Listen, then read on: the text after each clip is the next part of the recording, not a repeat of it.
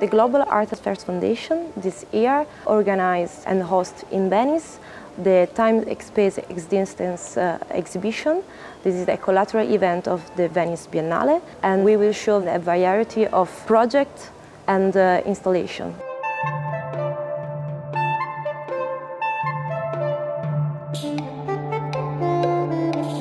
This year at the Time Space Existence exhibition opening events, we are welcoming all our exhibitors, which is about 174 architects, not only architects, but also universities, architecture photographers coming from all over the world here in Palazzo Mora, Palazzo Bembo, Palazzo Rossini and Palazzo Michiel.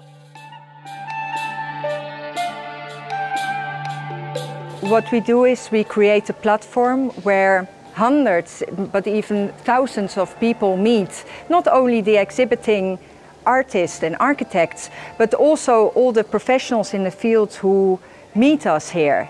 And it creates a dynamic which is very, very interesting way to showcase what you are doing as an architect. We like to bring together architects who might be already famous, some young architects, emerging firms.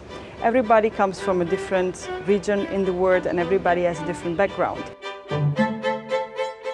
One of the main important features by our exhibition is that we not try to make a homogeneous exhibition. 42 different countries represent many, many different cultures, many, many different ways of seeing things.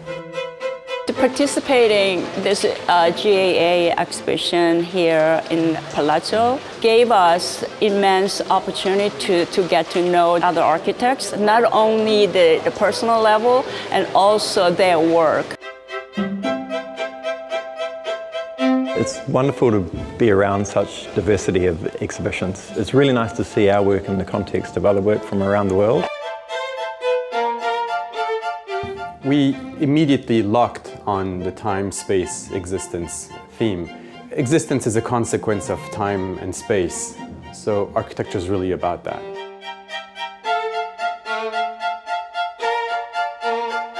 If you want to bring a certain message to the world, you will have to exhibit, you will have to publish, you have to be heard by other people.